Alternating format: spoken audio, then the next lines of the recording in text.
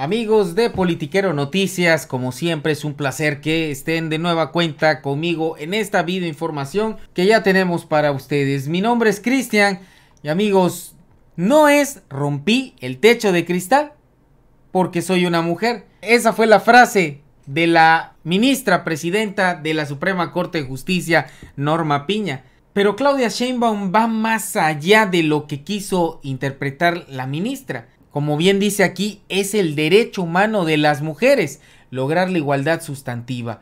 Ahora yo les pregunto, politiqueros, ¿cómo ven ustedes a Claudia Sheinbaum? ¿Creen ustedes que es la más apta para ser presidenta de México? Y es que a mí me causa intriga, realmente me, me llama la atención porque sería la primera mujer que tendríamos como presidenta. Y eso sería algo sumamente positivo, novedoso y transformador. Aparte de eso, siendo realistas. ¿Por qué? Porque al final de cuentas, por el hecho de ser mujer, creo que tiene un cierto grado de protección como cualquier mujer hacia un hijo. Y pues en este caso sería hacia todo el pueblo. Cosa que en los hombres hemos visto en los sexenios neoliberales que no existía ni tantita empatía con el pueblo. De hecho, eran repudiados. Entonces, ¿qué también caería una mujer presidenta en nuestro país? Cada quien podrá escoger su corcholata preferida y todo, ¿no? Yo todavía, sinceramente, les digo, no elijo a ninguno todavía porque para mí el que gane es al que hay que apoyar. Así de sencillo. Pero que yo muestre preferencias todavía sobre alguno, francamente no porque pues creo que todavía no estamos en la etapa de campaña como para que poder escuchar a los tres. De hecho, a la que más escucho es a Claudia Sheinbaum y a Dan Augusto, porque son quizás los que están más cercanos trabajando con el presidente. Marcelo Ebrard es más en el exterior y sin embargo considero que ha hecho un excelente trabajo. Para mí los tres van a la par y creo que serían cualquiera de los tres sería excelente. Y pues Noroña también sumado del Partido del Trabajo, aliado de Morena, creo que sería también otra muy buena opción. Lo que me causa de, Noroña un poco de duda es simple y sencillamente que es muy impulsivo. Creo que para el puesto de presidente tienen que tener una calma, híjole, impresionante. Que no cualquiera, sinceramente. Pues el simulacro nacional universitario le da una tremenda ventaja a Claudia Sheinbaum para ser la próxima presidenta de México. ¿Por qué no digo candidato? Porque no va a haber oposición, porque no va a haber nadie que le pueda competir a cualquiera de las corcholatas. Pero en este caso, en este simulacro nacional universitario, Claudia Sheinbaum se llevó el 54% de los votos y seguido de Ebrar con un 24%. Yo creo que todavía falta mucho. Hoy por hoy, Claudia Sheinbaum es la mejor posicionada. Y por eso creo que sería pues uno de los mejores prospectos que podría tener la 4T para continuar esta transformación. Porque yo voy con el proyecto, no voy con una persona, voy con el proyecto. Y si el proyecto del presidente hoy por hoy me ha agradado, creo que sería muy sano que esta transformación continuara. Quizás más adelante que haya más información podría presentarles eh, lo que diga cada uno, Marcelo Ebrar, Fernández Noroña, Adán Augusto. Pero en este caso entrevistó esta magnífica escritora Sabina Berman a Claudia Sheinbaum y pues hablaron de diversos temas. Y saben que, para ser honestos con ustedes, al menos a mí, sinceramente me impresionó la manera en cómo se desenvolvió Claudia Sheinbaum en esta entrevista. Vi toda la entrevista y la verdad se me hizo una persona que tiene bastante conocimiento de las necesidades que tiene el país y tiene bastante claro cómo poder llevar a cabo las políticas necesarias para que al implementarlas pueda producir resultados resultados que van en conjunto con lo que ya viene realizando el presidente, lo cual eso para mí es bastante bueno y a mí al menos me agrada mucho. Así que quiero mostrarles esta entrevista porque me parece que hizo preguntas muy buenas Sabina Berman como siempre lo hace y también vinieron respuestas muy concretas y con una firmeza y seguridad que sinceramente yo no creí que Claudia Sheinbaum tendría. Pero vamos a verlo para que ustedes escuchen en este video a Claudia Sheinbaum. La gente habla mucho de que está muy polarizada la sociedad. ¿Tú crees que tú traerías un ambiente distinto? Bueno, a ver, polarización en qué sentido? Yo creo que hay muchos pleitos, pues muchos dimes y diretes, mucha discusión de todo, de todo. Sí. Hay como se perdió un centro. Yo creo que hay una parte que, antes no se debatía, eh, como se debate ahora, con tanta libertad. Eh, y yo creo que no hay que tenerle temor al debate. Quizá la polarización se ha dado porque ha habido una crítica feroz contra el presidente de la República por parte de la derecha, de grupos muy conservadores que no están de acuerdo con perder sus privilegios y que además no están de acuerdo, inclusive muy clasista, muy eh, racista, una visión muy conservadora. Sello propio. ¿Qué continuarías del gobierno del presidente López Obrador y qué cambiarías? Más que a grandes trazos. Sí. A ver, ¿qué continuaría? La esencia. La esencia que es que es un gobierno del pueblo y para el pueblo. Eso no puede cambiar. No puede regresar la corrupción, no pueden regresar los privilegios, no puede regresar un gobierno para unos cuantos. Eso no puede regresar y eso es lo que quiere la mayoría del pueblo de México. Si no, el presidente no tendría el reconocimiento que tiene ahora porque finalmente ha luchado por ello. Hay que seguir profundizando la democracia, hay que seguir garantizando los grandes derechos, el bienestar. Eh, lo que nosotros anhelamos es que el pueblo de México tenga bienestar hombres y mujeres, desde los que viven en el campo hasta los que viven en las ciudades, desde los que viven en el norte hasta los, que viven en el sur. Y al mismo tiempo, eh, pues yo he tenido, primero soy mujer, eh, segundo, pues yo tengo una historia eh, científica. y yo creo que hay que profundizar en el desarrollo científico y tecnológico de México. Creo que toda esta nueva oportunidad que tiene México en términos de lo que se ha llamado nearshoring, etcétera, tiene que traer bienestar, no solamente tiene que traer inversión y tiene que profundizar en el desarrollo educativo y el desarrollo tecnológico y científico de nuestro país. Y al mismo tiempo pienso yo que hay que profundizar más en las fuentes renovables de energía. Eh, la garantía de esta base de soberanía energética que está dejando el presidente y hacia adelante profundizar en, en las fuentes renovables eh, y la visión sustentable del desarrollo energético. El asunto es cómo hacemos esas inversiones o cómo atraemos esas inversiones.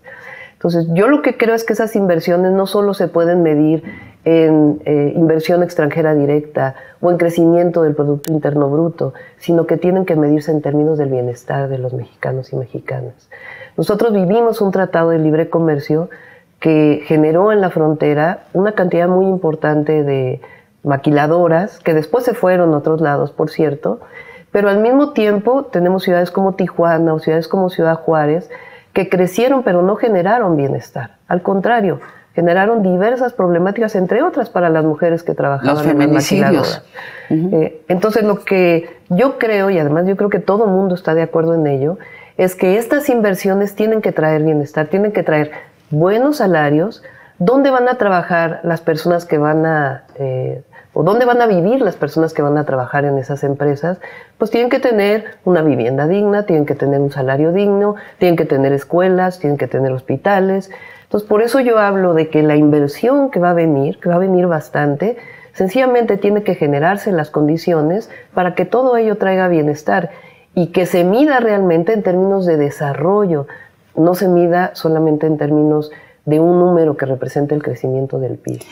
Y las clases medias, es decir, lo que tenemos que garantizar es que un joven de clase media o un joven, independientemente de cuál sea su nivel económico, tenga la garantía de la educación, tenga la garantía de la salud y tenga la garantía de una esperanza de vida.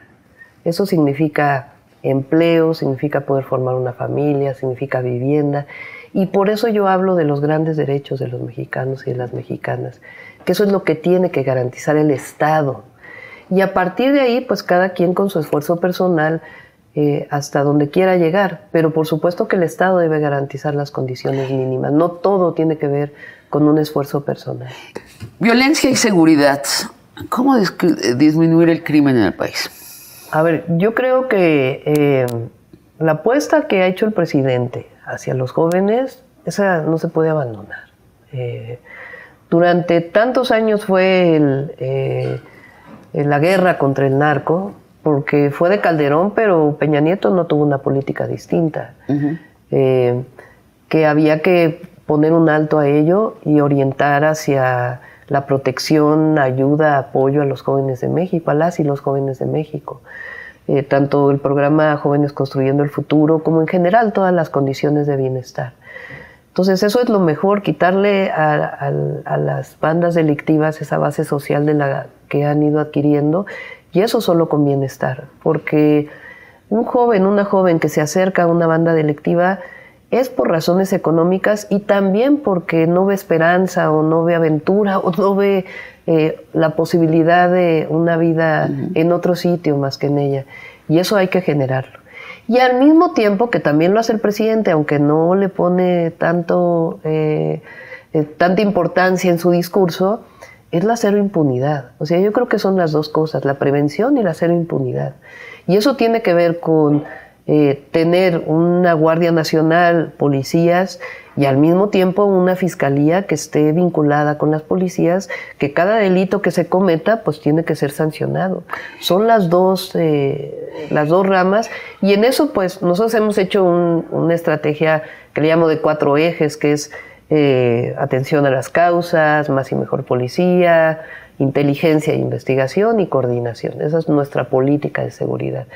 Y esa es una política de seguridad que eh, a nivel nacional en realidad se está siguiendo y yo creo que hay que fortalecerla. Era unánime. ¿Estamos militarizados? A ver, el, ejército está haciendo labores de seguridad. Eh, ¿Eso quiere decir militarización? Pues no. O sea, porque militarización, desde mi perspectiva, querría decir que el, el la condición de la fuerza por encima de la razón y del derecho es la ley. Y aquí no es eso. O sea, tú, tú no estamos ni hablando de que los militares hoy están eh, definiendo la política de seguridad, no. La define el presidente, la definen los civiles, pero el ejército está apoyando labores de seguridad. ¿Por qué? Pues porque no tenemos policías municipales en muchos lugares del país, porque no tenemos policías estatales en muchos lugares del país, porque la Guardia Nacional apenas se creó hace tres años y apenas se está consolidando. Entonces, quitar al ejército significaría dejar en el desamparo a muchísimos millones de mexicanos y de mexicanas. Entonces, se está apoyando entre, mientras se fortalecen otras instituciones. A mí me parece totalmente lógico que el ejército esté en las aduanas, dado quién estaba antes, ¿no? Y cómo funcionaban las aduanas. La prensa, regreso a lo que dice la prensa. Este, ¿Por qué el ejército regenteando un aeropuerto? Bueno, es una... Eh, ellos hicieron el Aeropuerto Internacional Felipe Ángeles, están haciendo el tren Maya, y te voy a decir, aparte de que eh, tienen las posibilidades de hacerlo, tiene también una razón económica. Eh, todas las ganancias que van a venir de ahí van a ser parte de las pensiones del ejército. Entonces también le estás dando una salida de largo plazo a al, propio ejército en términos de sus pensiones. Eh, ocurre en otros lugares del mundo, a mí no, no me preocupa eso. Hablar de eso, tenemos hoy por hoy dos grandes generadores ideológicos en este país. Es la prensa comercial y las mañaneras. Y son dos narrativas que cada vez son más divergentes. Con sus excepciones, ¿no? Pero, Con sus excepciones. Sí. Pero en efecto, o sea, muchos medios de comunicación eh, mm, se volvieron los, eh, los voceros del régimen anterior. Ese es el problema. Eh, por supuesto que hay libre expresión y tienen todo el derecho a decir una u otra cosa, pero también el presidente o la jefa de gobierno, los gobernantes, tienen derecho a decir, a ver, lo que se está diciendo en este medio es mentira o este medio pues es un vocero del conservadurismo. O sea, y sacar las cuentas del medio y decir, este medio lo está pagando fulano de tal con dinero, ¿te parece...? Lo que pasa es que hay una falsa moral. en muchos periodistas, o periodistas entre comillas. Eh, la verdad, o sea, es critican al otro, pero no, permito que me critican a pues, mí. Así, cuando tú dices, a ver, este, este personaje tiene todos los millones y millones y millones y tiene no sé cuántas propiedades, tiene no sé qué, y tiene no sé qué, y tiene no sé qué.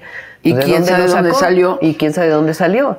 Eh, bueno, porque en, en el periodismo hay un lema, perro no come perro, pero también es oso no come perro, nadie come perro, o sea, los perros periodistas estamos libres de indagación. Esta ha sido la regla hasta hace poco. Sí, pero tú ves Excepto un cuando medio como Latinos, por ejemplo, o sea, con quién, por quién está financiado, cuál es su papel. O sea, no es un medio de comunicación, es un medio de odio contra el gobierno y de difusión en contra del gobierno. Eh, es decir, no hay ninguna, eh, o sea, digamos, ¿cómo me dirías la objetividad? Pues que hubiera una, este, un punto de vista y el otro punto de vista, ¿no? Que no hubiera solamente un punto de vista. Pero peor, cuando dices mentiras para poder eh, eh, dañar a un personaje público, entonces ahí es donde quedó el periodismo, ¿no? ¿Cuál es la visión que se acerca a tu visión? Esto de una democracia en donde el poder presidencial está negociando, enfrentando, este, haciendo pactos, o sea, en una continua movilidad con los otros poderes, o sí es una presidencia imperial. Fíjate la paradoja. en el 2006 hubo un fraude electoral en contra de Andrés Manuel López Obrador. En el 2012, llámale fraude o no, una compra de votos masiva en contra del presidente, hoy presidente López Obrador. Y el movimiento que encabeza el presidente, hoy presidente, pues luchó siempre por la democracia, por la vía pacífica, construyendo y cambiando la conciencia de la gente. En el 18 se gana porque hay una mayoría que vota por, por este proyecto. ¿Tú crees que se va a traicionar eso como presidente de la República? Es el único presidente que ha puesto su presidencia a votación de la gente en el cuarto año de gobierno. Sí, la revocación de mandato no la hace cualquier presidente en el mundo. Y él la hace para sí mismo. Es decir, ¿quieren que me vaya? ¿Me voy? Yo veo eh, presidente. entonces, eh, la defensa de la, democracia, pues es, es, parte de la esencia del movimiento que nosotros representamos. Yo coincido, yo nunca he visto a un México más democrático y yo veo a un presidente desequilibrando el arreglo que había entre los otros, entre los otros poderes. Pues como vieron la entrevista, politiqueros, espero sus comentarios porque realmente creo que pues es importante que los mexicanos estemos unidos para saber a quién apoyar. Tenemos cuatro corcholatas bastante buenas, bastante eh, apegadas al proyecto de transformación y creo que estarían haciendo un gran papel. Cada quien tendrá su favorito y conforme vayamos viendo y encontrando información se las iremos presentando aquí para que vayan conociendo también los otros perfiles. Es importante realmente escuchar a todos. Sinceramente, sin escuchar a las otras corcholatas, Claudia Sheinbaum me convenció. Realmente creo que la firmeza con la que habló, la seguridad, el conocimiento que tenía sobre cada uno de los temas y cómo de una pregunta que venía sobre un tema de seguridad desembocó en educación, también desembocó en salud, en las becas. O sea, impresionante cómo tiene ligado cada uno de los rubros de los cuales está hablando. Y eso habla de una persona que se está preparando, que sabe y que además tiene el conocimiento de lo que está haciendo falta en el país. Y eso me parece bastante bueno viniendo de ella, que además es la única corcholata mujer. Así que pues amigos, ya estamos a punto de enterrar definitivamente a la organización criminal más peligrosa de México, el Partido Acción Nacional. Terminemos de hacerlo posible, dice Damaso. Pues yo diría, vamos a darle el último empujoncito para que ya desaparezca este narcopartido corrupto de Acción Nacional. Amigos de Politiquero Noticias, les agradezco su compañía en esta información. Los invitamos a suscribirse al canal Politiquero Noticias, activar la campanita para que les lleguen las notificaciones de los videos. Regálenos su poderoso like si les gustó el video. Compártanlo con sus amigos y familiares. viralicemos este video para que entonces podamos hacer llegar esta información al mayor número de mexicanos. Y pues sigan teniendo un excelente día, pásenla lo mejor que puedan, es cuanto.